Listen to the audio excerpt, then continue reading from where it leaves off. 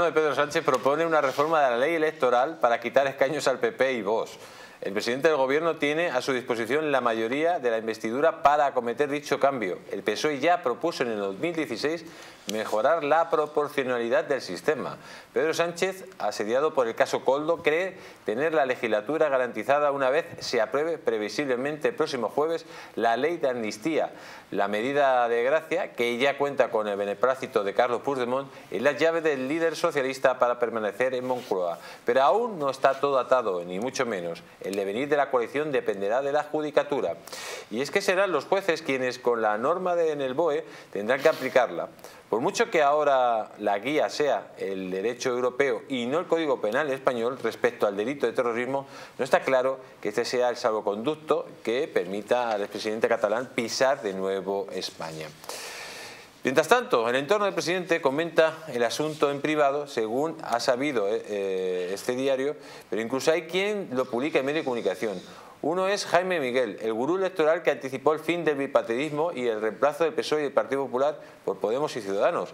Miguel desembarcó en el núcleo duro de Sánchez de la mano del jefe de gabinete Iván Redondo, nada más hacerse cargo de las riendas del país. Y lo que pretenden el círculo de Pedro Sánchez, amigos, es una reforma electoral pues que le supondría al Partido Socialista más votos, más escaños, al Partido Popular menos, a vos menos y a sumar más. Esa es la reforma definitiva que, supone que pueden hacer y que lógicamente pondrían, señor Jara, en un peligro claro una posible mayoría del centro derecha. Sobre todo cuando se ha sabido que hoy eh, el centro derecha español alcanzaría una mayoría absoluta de forma holgada, ¿no? Entonces, bueno, pues eh, son capaces, lo son, son capaces de, eh, en fin, de amnistiar a gente que está fugada de la justicia desde hace siete años, viviendo no se sabe muy bien de qué, y a todo trapo. ¿eh? O sea, que son capaces de todo. Y de esto también. Lógicamente, eh, esto es un atentado contra la democracia, ¿no? Porque yo me pregunto, bueno, si tocan la distribución electoral y la hacen más lineal, de tal manera que un voto de un bilbaíno valga tres veces lo que vale el voto de un madrileño, a efectos reales, pues a lo mejor incluso no me disgusta. Pues claro, un español un voto, no, mentira, depende de dónde viva. Si eres sevillano tiene un valor, si eres de Albacete tiene otro, y si eres mm, eh, leridano ni te lo cuento. Entonces eso a lo mejor resulta que no es ni tan malo, pero claro, sabiendo quién plantea el tema, pues no me puedo fiar. ¿Ustedes, ustedes se pueden fiar? Porque yo no.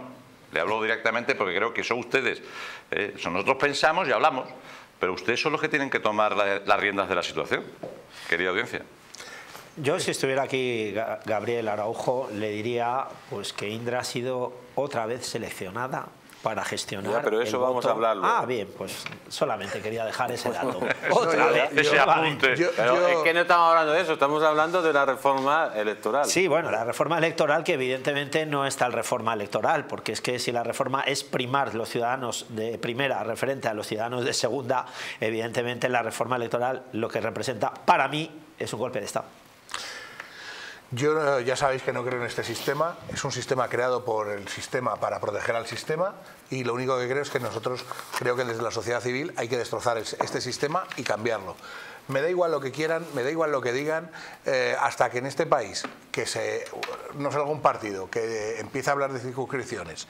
Y ¿Usted cree en el diputado de distrito? Lo creo absolutamente que ese es el, eh, ese es el principio. También creo que una persona, un voto, siento venir con esta idea revolucionaria, eh, es importante. Y lo que creo es que los políticos tienen que irse de la política y tienen que gestionarla profesionales. Y los políticos para las migajas. Eso es lo que creo.